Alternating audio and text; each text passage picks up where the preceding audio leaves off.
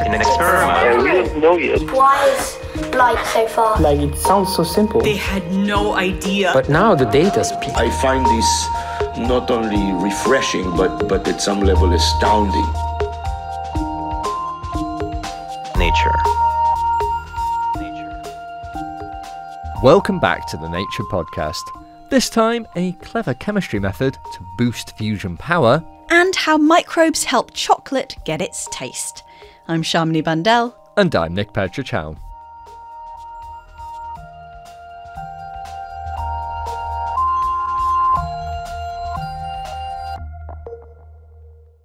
Researchers have long been interested in nuclear fusion and its promise of abundant clean energy. This is down to a number of factors, but one is that fusion events, where two or more atomic nuclei combine, are quite rare. Now, though, inspired by the controversial case of cold fusion, researchers have used some clever chemistry to boost how often these fusion events occur in a small desktop reactor. We're able to enhance the nuclear fusion rates by as much as 15%. This is Curtis Berlinguette, one of the team behind the work. Now, it must be said, this is not cold fusion, the claim that fusion could occur at room temperature. That was dismissed in 1989 due to a lack of credible evidence. But Curtis and a team of researchers have been investigating some of what the original cold fusion researchers did to see if there's anything that could allow fusion to become a bit more scalable. Conventional fusion relies on known science, but the engineering is very difficult to scale. We have to build these really large facilities in order to keep these fuels at high energies within a really confined space. And so we use really massive magnets, for example, to try to confine these particles within these regions. In our work, we're taking the opposite approach and we're trying to explore unknown science with the hope of finding something that's interesting and uh, that could potentially be much easier to scale and engineer. And that way we can actually deploy our technology at a much faster rate than conventional fusion processes. They landed on palladium. This is a silvery metal that was used in the original cold fusion claim. Now, palladium has some interesting properties for fusion, as its lattice structure allows it to absorb hydrogen isotopes. In fusion reactions, heavy hydrogen isotopes, like deuterium, are used as the conditions for fusion are easier to achieve with them. As palladium can absorb deuterium, Curtis and the team thought it could help them increase the rate of fusion events. So they set about trying to cram as much deuterium into a piece of palladium as possible. This can be done by using intense pressures, but that's very energy intensive. So Curtis and the team tried a different approach electrochemistry. They bathed the palladium in heavy water, water where the hydrogen has been replaced with deuterium, and then used the palladium as a cathode. By introducing what's known as an electrical bias, the palladium absorbed the deuterium using only a single volt of electricity.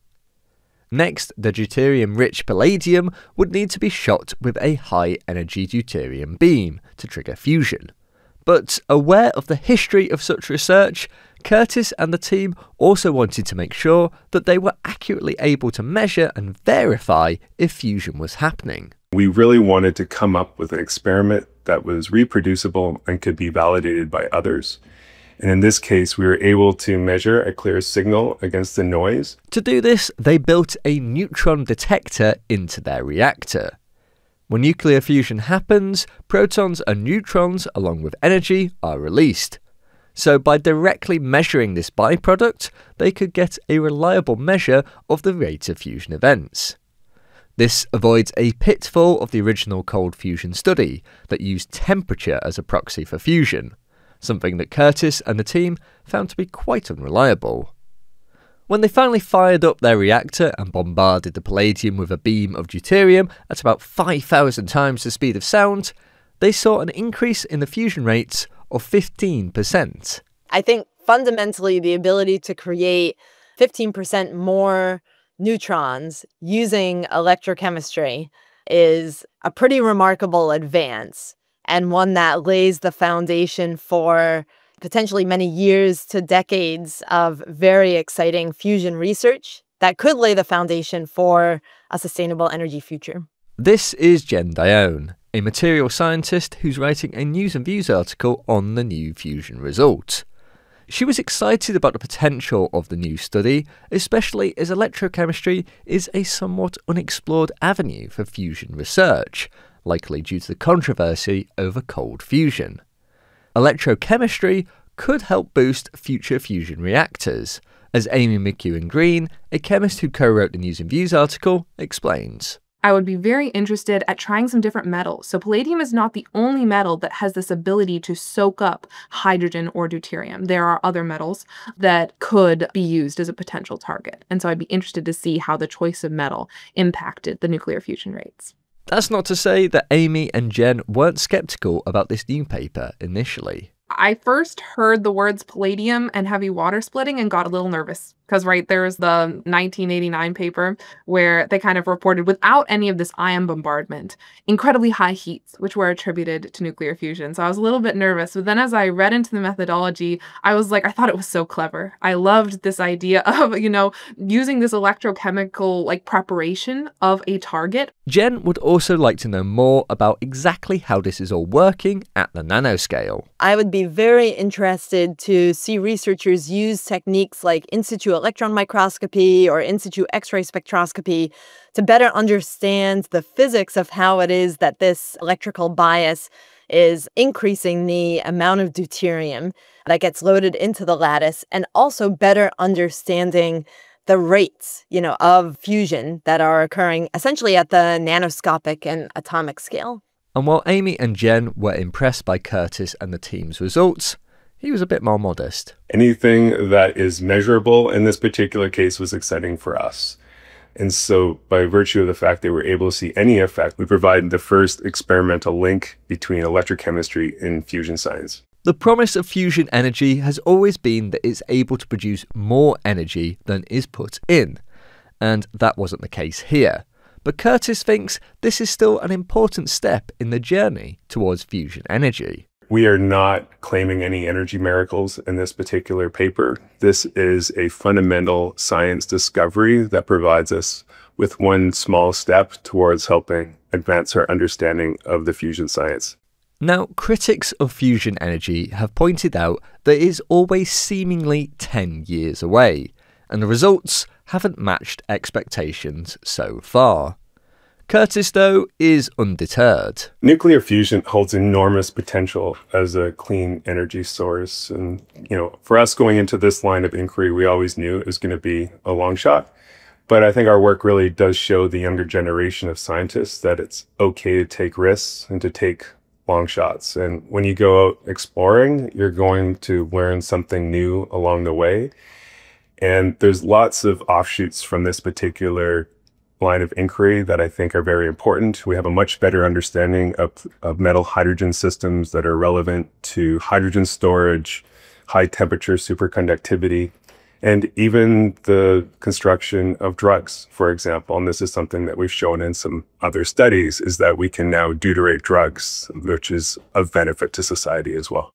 This research may not herald a viable fusion reactor yet, but it could open up a new avenue of electrochemical research in the field. For Curtis, he's most excited by the compact nature of their reactor, known as Thunderbird, as he hopes it will get more people involved in fusion research.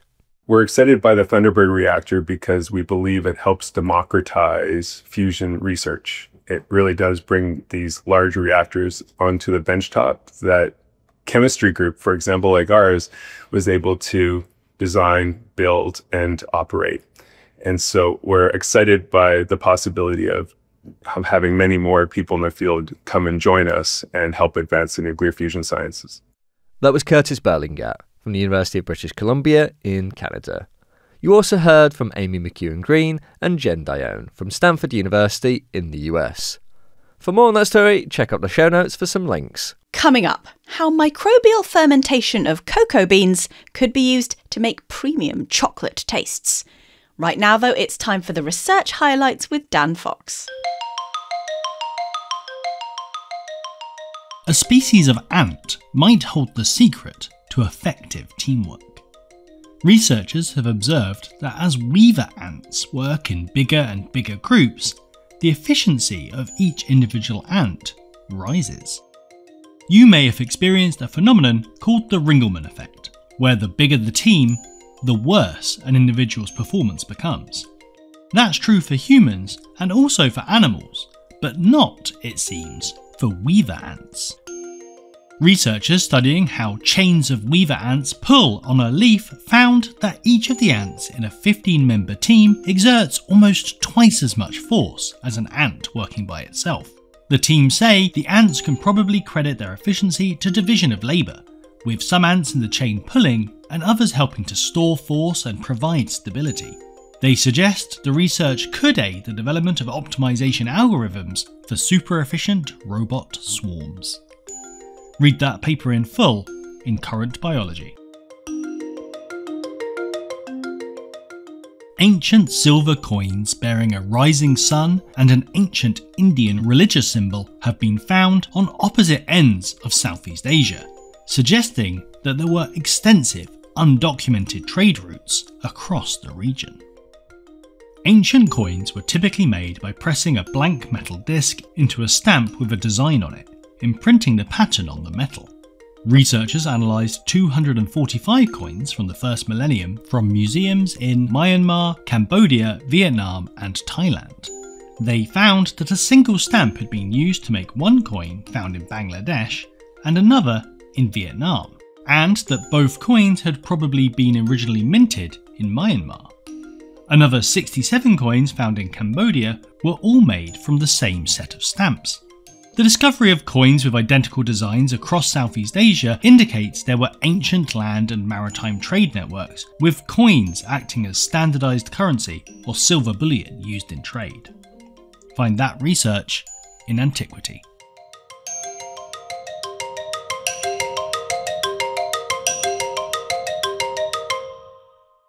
Next up on the show, there's been some research out that's all about chocolate. Now, of course, as soon as I found out that there was important chocolate science to be reported on, I nobly volunteered. I said, yes, I am willing to go and do a deep, deep, possibly undercover investigation. I will test all the chocolate just to make sure that I really understand this science.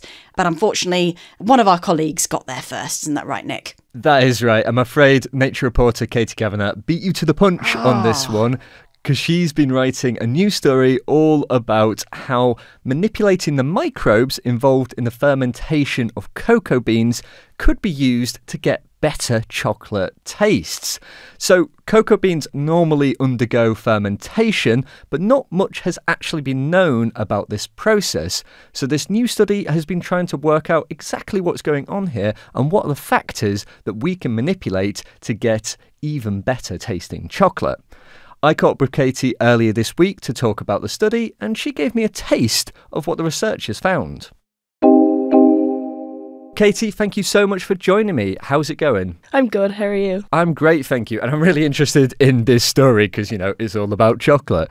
So I was wondering, just to start us off, Katie, what got you interested in writing this story? I think immediately seeing the science of chocolate is something you can't really not focus on.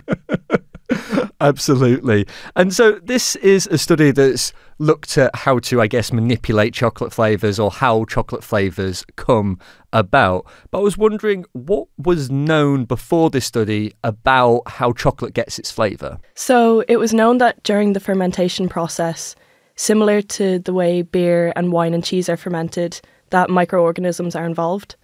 But the difference is with cocoa bean fermentation, this happens spontaneously. So different microorganisms join from the environment around, and that seems to give different quality and flavour around different regions.